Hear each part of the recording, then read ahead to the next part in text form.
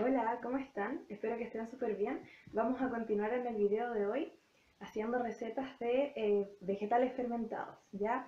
En este video particularmente vamos a hacer ajo fermentado en salmuera, ¿ya? Em, como habíamos mencionado, ¿cierto? En otros videos en la clase, eh, al fermentar ajos en sal, en salmuera, vamos a permitir que se realice una fermentación ácido láctica, ¿ya? Esto significa que las bacterias lactobacilos, ¿ya? que no tienen nada que ver ¿cierto? con los productos de origen lácteo, sino que más bien son bacterias que generan ácido láctico y que permiten la conservación y otras propiedades también muy buenas para, para nuestra salud.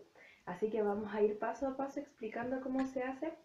En general la mayoría de las verduras fermentadas tienen un proceso muy parecido, eh, sin embargo cada una tiene como algo particular que lo hace diferente, así que vamos a ir eh, explicándolo también. ¿Cuáles son entonces los beneficios de fermentar ajo? Eh, bueno, el ajo lo vamos a fermentar pelado, entonces uno de los beneficios es que cuando ya esté fermentado lo vas a poder consumir así tal cual, no necesita cocción, no necesita ninguna otra preparación, a lo más picarlo, ya, pero eh, la fermentación va a producir que el ajo no esté tan picante, entonces lo vamos a poder incorporar en cualquier preparación y ya va a estar listo para consumir. Entonces, si de pronto quizás no tienes ajo, vas a tener tu ajo fermentado guardado ya listo para el consumo. Así que igual tiene muchas ventajas, además obviamente de las características probióticas y prebióticas que tiene el ajo como lo habíamos visto, ¿cierto? En el taller. Así que tiene puro, puros beneficios.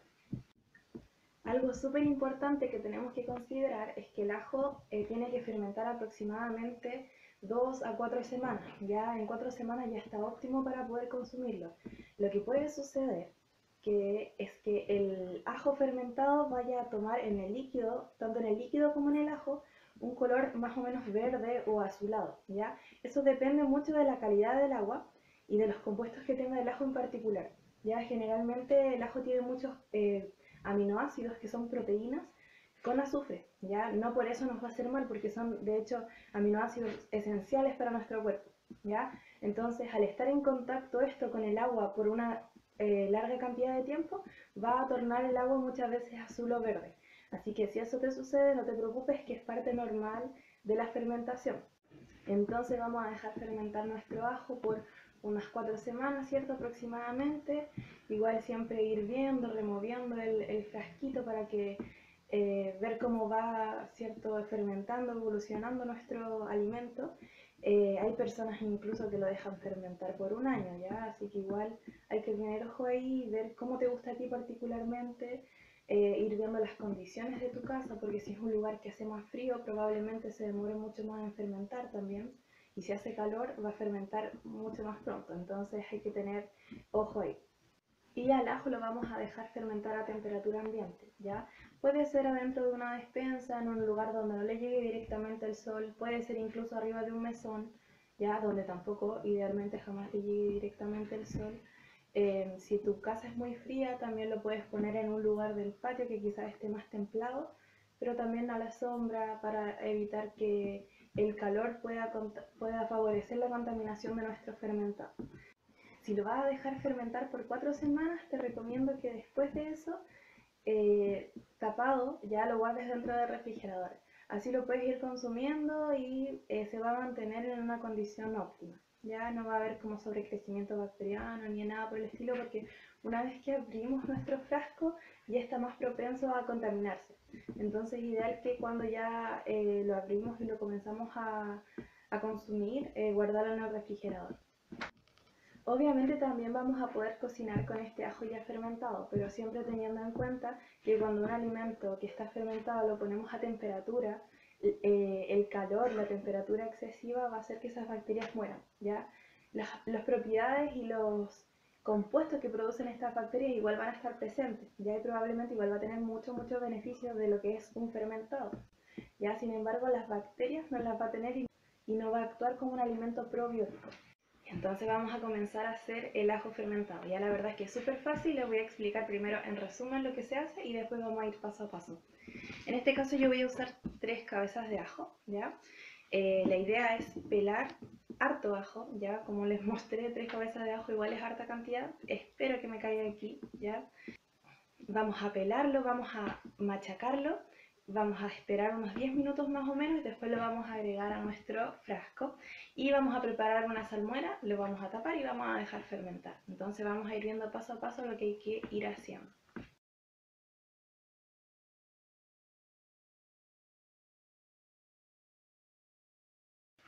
Vamos a comenzar entonces con la parte más difícil, o quizás más que difícil, un poco tediosa, que es la de pelar los ajos y machacarlos, ¿ya? Porque, claro, diente por diente de ajo es un poco difícil, pero vamos a ir, igual les voy a mostrar. Y aquí tengo una tacita donde voy a ir recibiendo todas las cáscaras para que quede todo ordenadito. Entonces, vamos a ir obteniendo nuestros ajitos, nuestros dientes de ajo.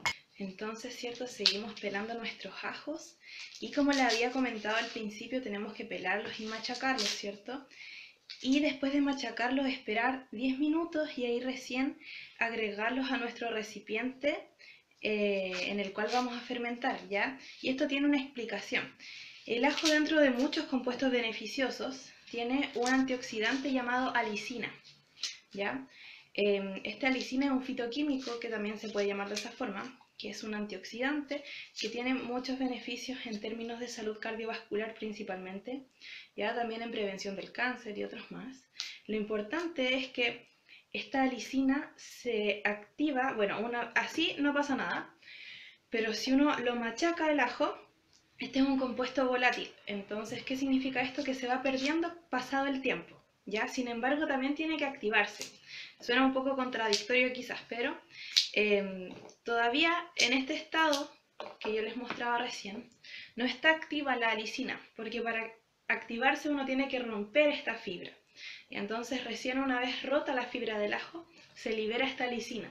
Entonces nosotros lo que tenemos que esperar son aproximadamente 10 minutos para que esta lisina se active eh, de forma adecuada, ¿ya?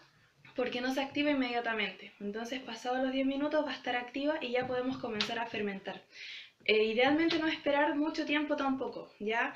Porque ya después de media hora o una hora se empieza a perder también este compuesto porque como es volátil se va perdiendo en el aire y eh, se va oxidando también, ¿ya? Así que igual es importante eh, no esperar mucho tiempo tampoco para comenzar a fermentar.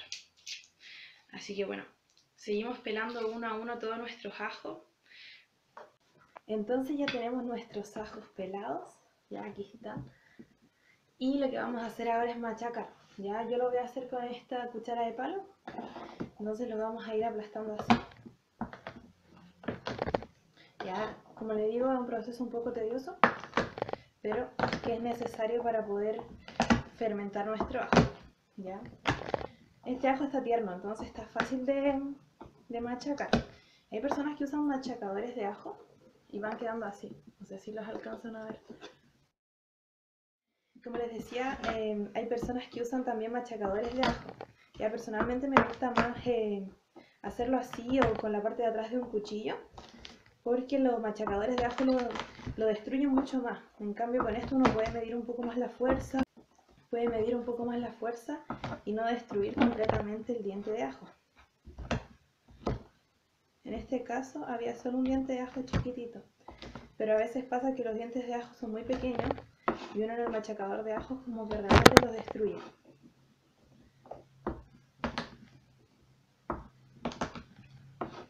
Entonces aquí aplastamos el último ajo y lo que vamos a hacer es comenzar a ingresar nuestros ajos ya machacados.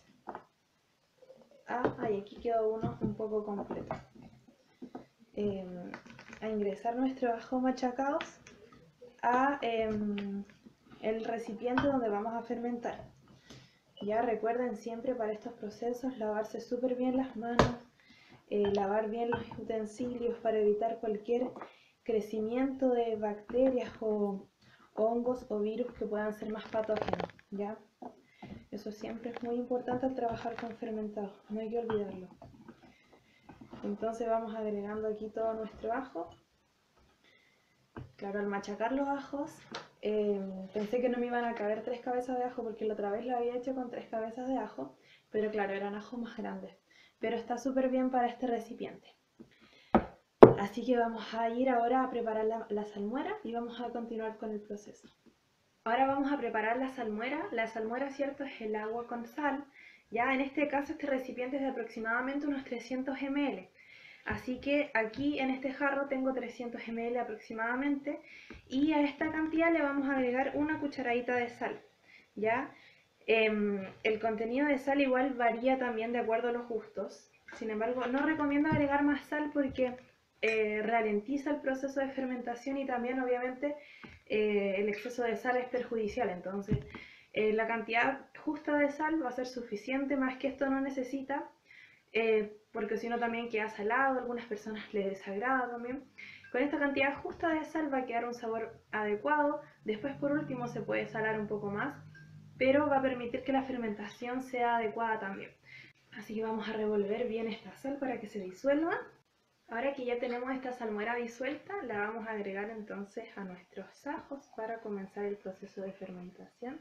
Alcanzó justo eh, la salmuera para este, este recipiente de ajo, ya ahí lo pueden ver.